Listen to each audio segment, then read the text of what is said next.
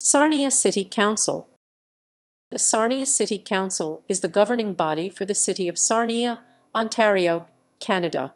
The council consists of nine elected members, the mayor, four city council members, and four Lambton County Council members. The mayor and all council members are elected to four-year terms. The four Lambton County Council members serve both county and city council.